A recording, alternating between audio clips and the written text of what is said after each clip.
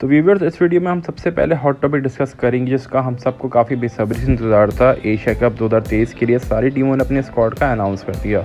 और फाइनली कल इंडिया ने भी अपने स्क्वाड का अनाउंस कर दिया है। इंडिया के स्क्वाड में रोहित शर्मा कैप्टन शुभम गिल, विराट कोहली, श्रेयास अय्यर, के राहुल सूर्य कुमार यादव, तिलक वर्मा, ईशान किशन, हार्दिक पांड्या, जो कि वाइस कैप्टन है। रविंद्र जडेजा, अशर पटेल शरदर ठाकुर, जसप्रीत बुमराह, मोहम्मद शामी, मोहम्मद सिराज, कुलदीप यादव और प्रसिद्ध कृष्णा है। ट्रैवलिंग रिज़र्व के लिए संजू सैमसन को साथ रखा गया है। तो इस तरह इंडिया ने सात बैट्समैन, दो विकेट कीपर तीन ऑलराउंडर और छः बॉलर शामिल करें अपने स्क्वाड में।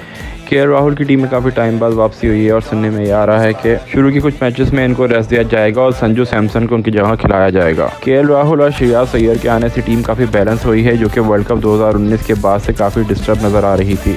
के राहुल को जब मिडिल ऑर्डर में खिलाना शुरू करा है, तब से वो बहुत ख़तरनाक साबित हुए हैं। उनके 18 मैचेस में 50 प्लस एवरेज है बैटिंग। अगर इंडिया के स्क्वाड को पाकिस्तान से कंपेयर किया जाए तो इंडिया के स्क्वाड में काफ़ी एक्सपीरियंस प्लेयर दिखाई देते हैं, जबकि पाकिस्तान के स्क्वाड में काफ़ी यंग और इन एक्सपीरियंस प्लेयर की तादाद ज़्यादा है। जहाँ तक रही बात ओडिया फॉर्मेट की तो ओडिया फॉर्मेट में काफ़ी एक्सपीरियंस प्लेयर की ज़रूरत पड़ती है। इसकी बेसिस पे इंडिया की टीम पाकिस्तान से काफ़ी ऊपर है। जहाँ तक इंडिया पाकिस्तान के कुछ मेन की प्लेयर्स की कंपेरिजन की बात की जाए तो वो कुछ इस तरह है।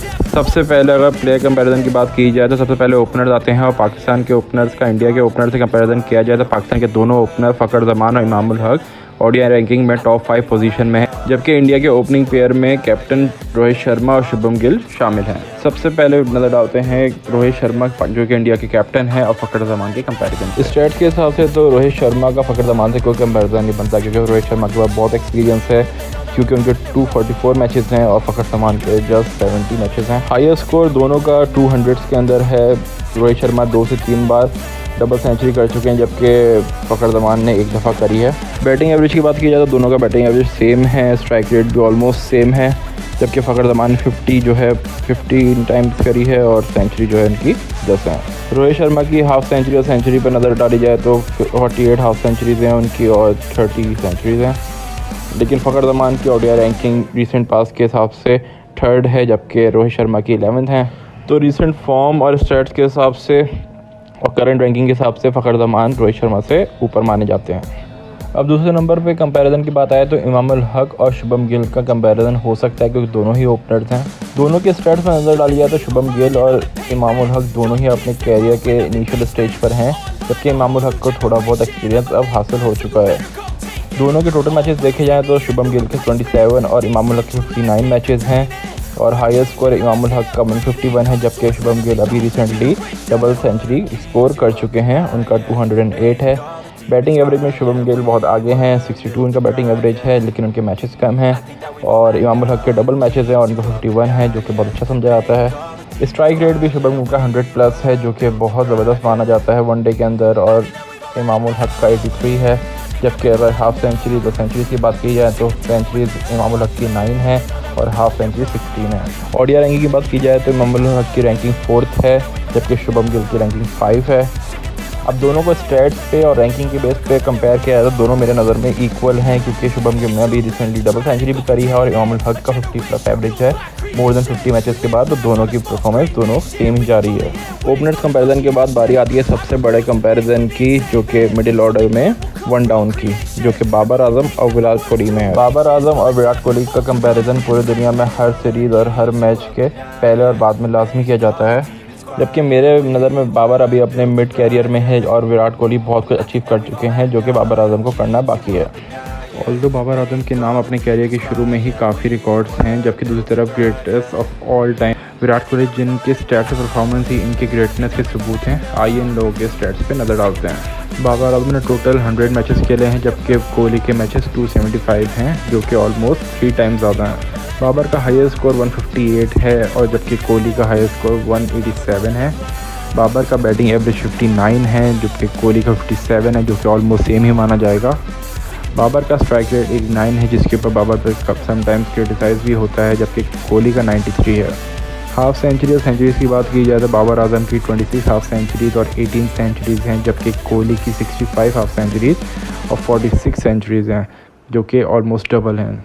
लेकिन रिसेंट फॉर्म और स्टैट्स को देखा जाए तो बाबर आज़म की उस बेसिस पे रैंकिंग नंबर वन है। वर्ल्ड के नंबर वन बैट्समैन है बाबर आज़म अभी ओडीआई के, जबकि कोहली अभी नंबर नाइन्थ पर स्टैट्स रिकॉर्ड्स और रैंकिंग रिसेंट पास की अगर देखी जाए तो बाबर आज़म अभी दुनिया के नंबर वन बैट्समैन है। यही वजह है कि वो कोहली से अभी राइट नाउ उनको अपर एज हासिल है।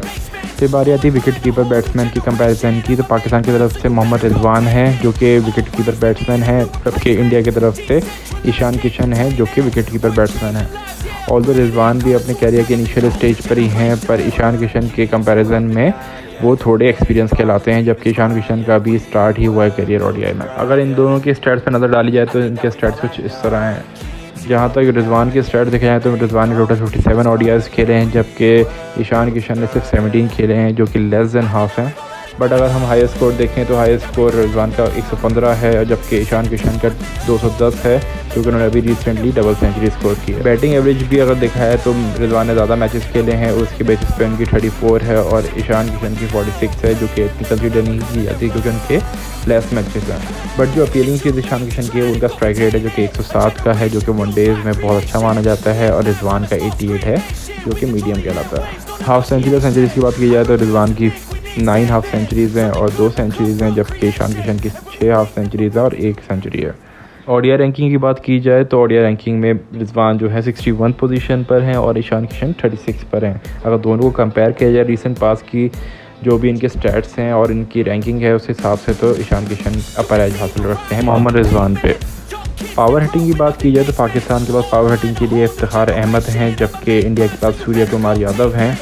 इफ्तार अहमद जो कि टीम के सबसे ओल्डेस्ट प्लेयर समझे जाते हैं, उनका ओडिया एक्सपीरियंस बहुत कम है क्योंकि वो अभी कुछ टाइम पहले ही ओडिया की टीम में हैं, जबकि उनका डोमेस्टिक और टी ट्वेंटी का काफ़ी एक्सपीरियंस है। As compare to Surya Kumar जो कि यंग हैं और वो भी अभी नए नए आए हैं ओडियाज़ में, लेकिन उनका टी ट्वेंटी बहुत कमाल का कैरियर है।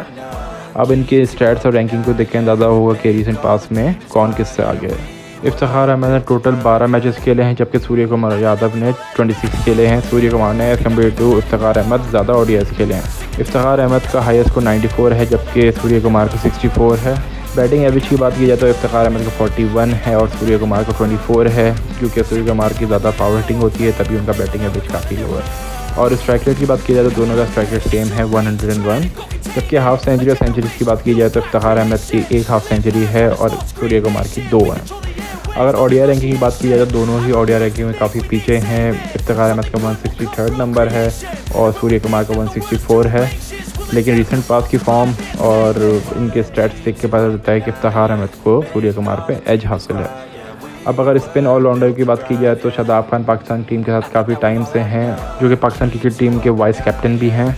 शादाब खान के कंपैरिजन में रविंद्र जडेजा आते हैं इंडिया की तरफ़ से, जो कि मैच विनर खिलाड़ी समझे जाते हैं। अब इनकी स्टेट से अंदाज़ा होगा आपको कि रविंद्र जडेजा कितने बड़े प्लेयर हैं। शादाब खान की टोटल ऑडियाज़ देखे जाए तो उन्होंने सिर्फ़ फिफ्टी सिक्स ऑडियाज़ खेले हैं, जबकि रविंद्र जडेजा ने वन सेवेंटी सेवन खेले हैं, जो कि ऑलमोस्ट थ्री टाइम ज़्यादा हैं।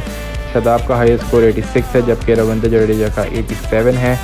शादाब का ट्वेंटी एट बैटिंग एवरेज है, जबकि जडेजा का थर्टी टू है, इतने मैचेस खेलने के बावजूद भी। स्ट्राइक रेट दोनों का ऑलमोस्ट सेम है, शदाब का 82 और जडेजा का 84 हाफ़ सेंचुरी और सेंचुरीज की बात की जाए तो शदाब की जस्ट फोर हाफ़ सेंचुरीज हैं और जडेजा की 13 है। लेकिन रिसेंट फॉर्म के हिसाब से ओडिया रैंकिंग में शदाब खान फोर्टीन पर हैं और जडेजा 44 पर है। अभी रिसेंट फॉर्म देखी जाए तो शदाब खान की बड़ी ऑन हुई भी है और जडेजा को टीम में वापस लाया गया काफ़ी टाइम बाद। तो इस हिसाब से अभी शदाब रिसेंट फॉर्म के बेसिस पे जडेजा से अपर हैंड रखते हैं। जबकि शदाब की बॉलिंग की बात की जाए तो उनका बेस्ट फिगर फोर पे ट्वेंटी एट है, जबकि जडेजा का फाइव पे थर्टी सिक्स है और बॉलिंग एवरेज शादाब का थर्टी टू है जडेजा का थर्टी सेवन है। इकॉनमी रेट देखा जाए तो शदाब का economy rate five point one है और जडेजा का फोर पॉइंट नाइन है, जो कि सिमिलर ही कंसिडर किया जाएगा। बॉलिंग की बात की जाए तो दोनों टीमों के पास काफ़ी स्ट्रॉन्ग अटैकिंग बॉलिंग है और पाकिस्तान के अटैक को लीड करते हैं शाहिन शाह अफरीदी जबकि इंडिया के अटैक को लीड करते हैं जसप्रीत बुमराह। शाहिन शाह अफरीदी और बुमराह का कंपैरिजन नहीं किया जाता क्योंकि अफरीदी पिछले एक साल से खेल रहे हैं और बुमराह अभी इंजरी के बाद दोबारा टीम में आए हैं। फिर भी इन दोनों के स्ट्रेट्स देखते हैं और जानते हैं कि इनके क्या स्ट्रेट्स बोलते हैं। Shaheen Shah Afridi thirty six match खेल चुके हैं जबकि बुमराह सेवेंटी टू मैच खेले हैं जो कि उनके डबल हैं। शाहीन की बेस्ट बॉलिंग फिगर सिक्स पे थर्टी सिक्स है जबकि बुमरा की सिक्स फॉर नाइनटीन है। एवरेज की बात की जाए बॉलिंग एवरेज की तो शाहिन शाह अफरीदी की 24 है बुमरा की भी 24 है स्ट्राइक रेट शाहीन की 26 है बुमरा का 31 है और एक इकनॉमी 5.5 है शाहीन शाह अफरीदी की और जसप्रीत बुमराह की 4.6 है। लेकिन करंट फॉर्म और रैंकिंग को देखा जाए तो शाहीन शाह अफरीदी नाइन्थ रैंक करते हैं ओडीआई में जबकि बुमरा थर्टी हैं। और रिसेंटली बुमरा जो है अभी कम बैक कर रहे हैं और शाहीन शाह अफरीदी पिछले एक साल से खेल रहे हैं तभी शाहीन को बुमरा पे अपर है जाते रहा।